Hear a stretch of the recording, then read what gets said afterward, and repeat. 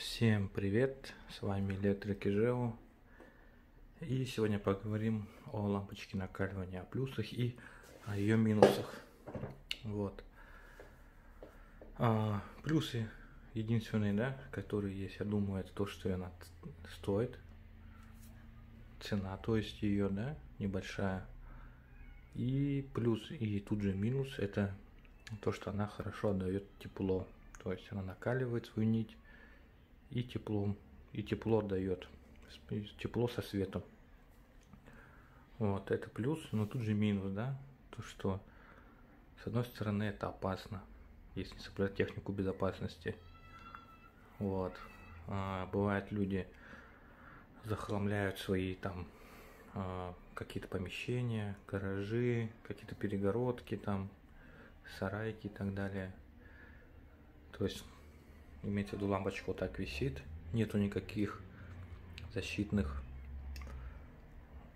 колпаков, рассеивателей.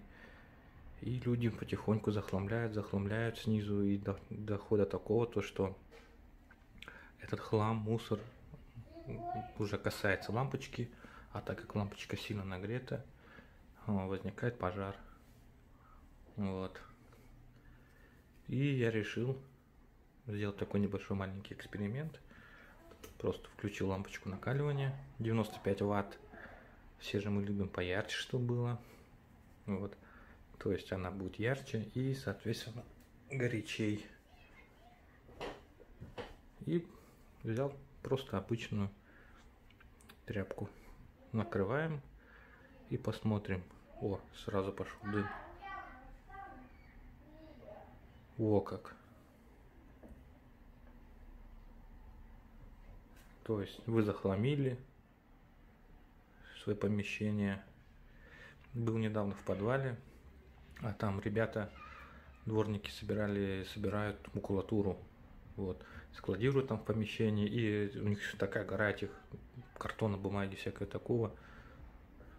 То, что уже пошли, почти дошло до лампочки. А там лампочки в подвале просто обычное накаливание. Само собой то, что лампочки светодиодные – так не нагреваются. О, мы уже видим дымок хороший, уже темнеет, чернеет. Ну тут и пож... до пожара недалеко уже. Жесть.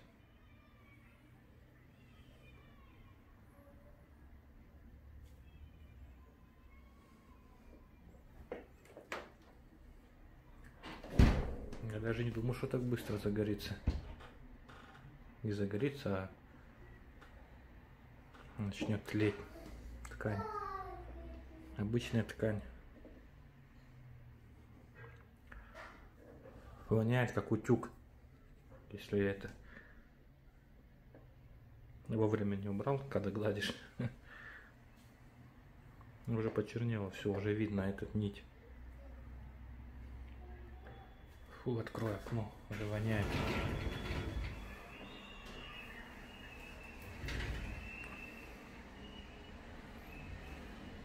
Ну, до возгорания не буду держать.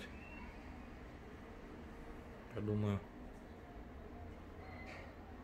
все видно. Так что соблюдайте технику безопасности. С вами был Электрик Ижео. Всем пока.